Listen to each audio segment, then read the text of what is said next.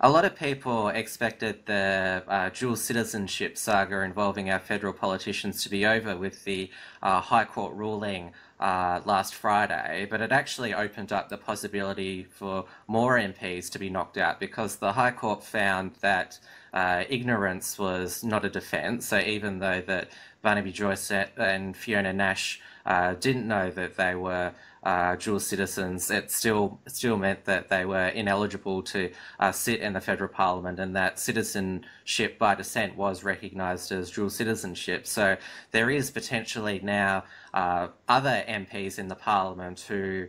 Uh, knowingly or unknowingly are dual nationals, and uh, uh, we lost a another MP this week with the no less than the president of the Senate, Liberal Stephen Parry, resigned when uh, on Wednesday after he confirmed that he did hold uh, British citizenship as his uh, father was from Britain, uh, and now it's it's opened up, uh, made the calls stronger for a audit of the citizenship of all MPs because we were told by Attorney General George Brandis on the Sunday after the High Court decision uh, that there were no more dual citizens, and yet there are. And so, you know, we how else are we going to be sure that you know there's not going to be more?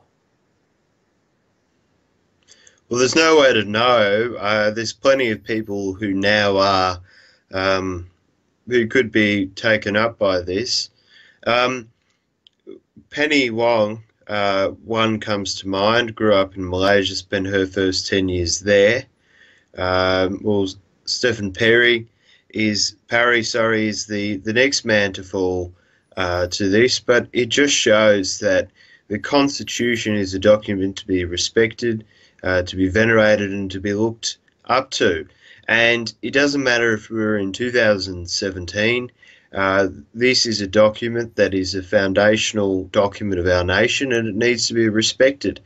And it doesn't matter how many politicians have to go uh, or recontest by elections or, or whatever. What needs to be respected is the rule of law and the Constitution.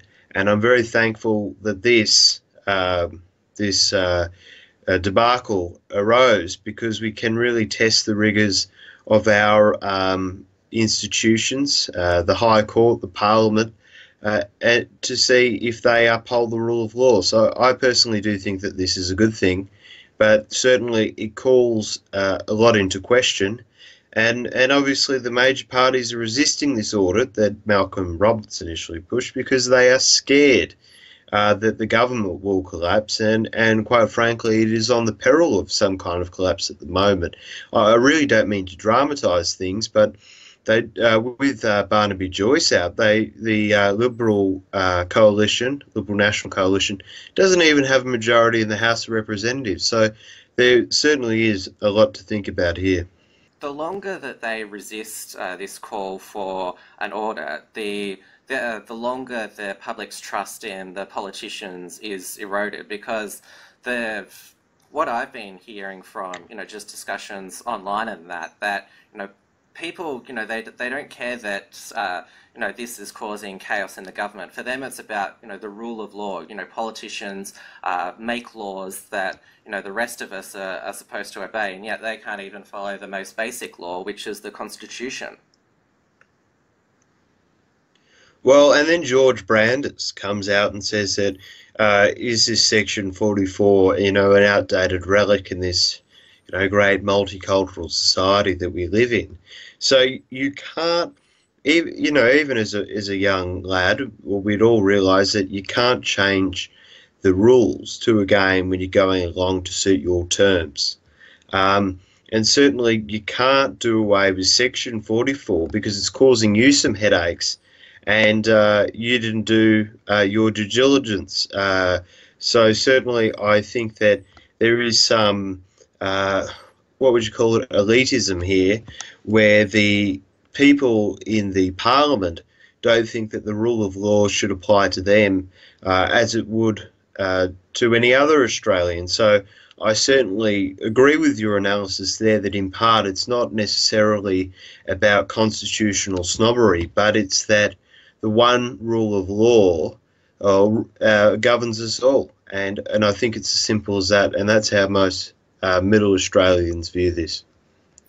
Uh, and also the other um, politicians calling for an audit are the Greens, who uh, most people have pointed out are actually being the constitutional conservative throughout this whole uh, whole, whole, saga, which is uh, quite ironic. Um, uh, Derryn Hinch is also calling for an audit, so is uh, Nick Xenophon, and also some Liberal backbenchers such as Craig Kelly, Eric Abetz, and Kevin Andrews have also called for an audit. Malcolm Turnbull today said that he'll have an inquiry, but we don't know whether that inquiry would compel MPs to provide uh, documentation, uh, for example.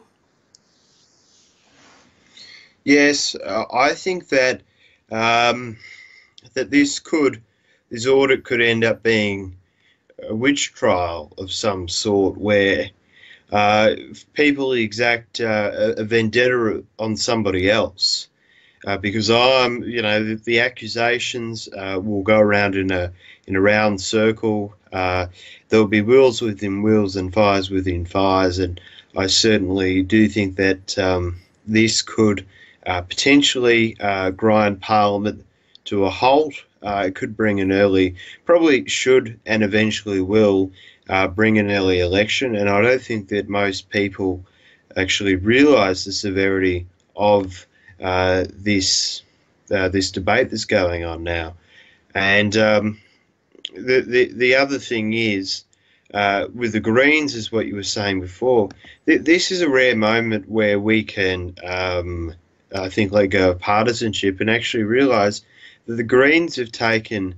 Uh, quite a morally righteous stand here. Uh, they have been the ones uh, to respect the Constitution and the rule of law, uh, and it has been the major parties that have ignored it, who have disregarded it, and who have felt that it why should it apply to them? You know, they they feel that uh, you know they're too big for their own boots.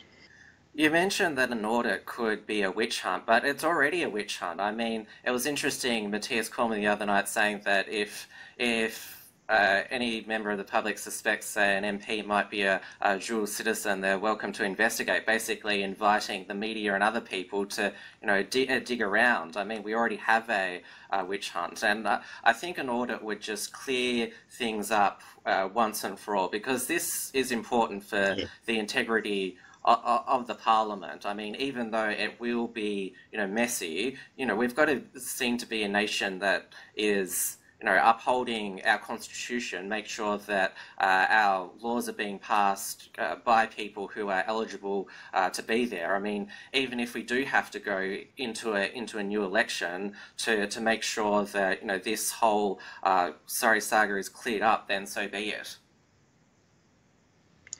I, I agree. I, I think put the the heat uh, on them, and the heat will melt all concealment.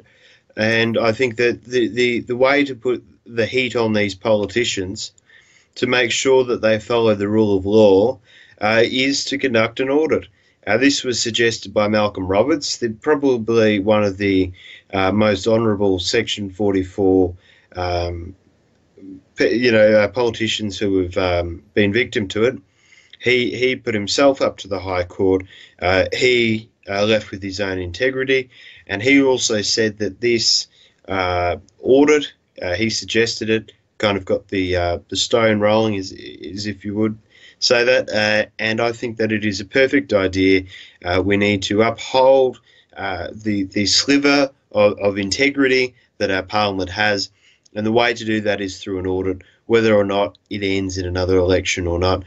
Upholding the you know, the worth of the parliament, you know, is done through shining a light uh, on the Section 44 and not covering it. This has been an Unshackled Fast. Please like, comment, and subscribe. While you're here, grab our free ebook at theunshackledbattlefield.net and visit theunshackled.net for all the latest news and commentary.